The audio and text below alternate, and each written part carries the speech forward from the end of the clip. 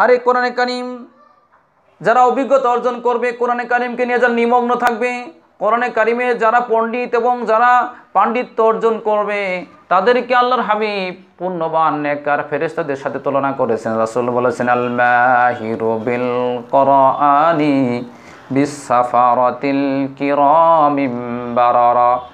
নিশ্চয়ই যারা যারা কোরআনে যারা অভিজ্ঞ ব্যক্তি, তারা সম্মানিত এবং পুণ্যবান ফেরেস্তাদের সঙ্গে থাকবে। পক্ষান্তরে যারা কোরআন তেলাওয়াত করে কিন্তু কষ্ট হয়, কোরআন তেলাওয়াত করতে পারে না ঠিকভাবে, খুব আটকে আটকে তেলাওয়াত করে, এদেরকে উদ্বুদ্ধ করার জন্য আল্লাহর হাবিব বলেছেন যে অল্লাজি আকরাউল কোরআনা যে কোরআন পাঠ করে হয়তো আতাউ ফিহি এবং এতে যে আটকে যায়, ওহু আলহি শাক কোন তার জন্য কোরআন তেলাওয়াত করে কষ্ট হয়। তার জন্য কি হবে? ফালাহু আজরানে।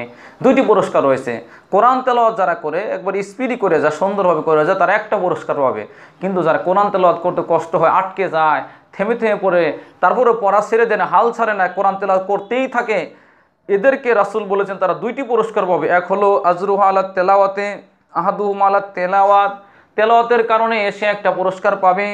ওয়াসানি আলা মুশাক্কাতিহি আলাল কারি। আর দ্বিতীয়ত হলো, এক পাঠক যে কষ্ট করে তেলাওয়াত করলে, এই জন্য পাবে দুইটি পুরস্কার সে লাভ করবে। এই জন্য কোরআন তেলাওয়াত ছেড়ে দেওয়া যাবে না। প্রত্যেক দিন পড়তে হবে। কোরআন তেলাওয়াত ছেড়ে দিলে আপনি আজবে গ্রেপ্তার হবেন, আপনি শাস্তি আসবে। আল্লাহর হাবিব রাসুল করিম সাল্লাহ সাল্লাম মেরাজ রজনীতে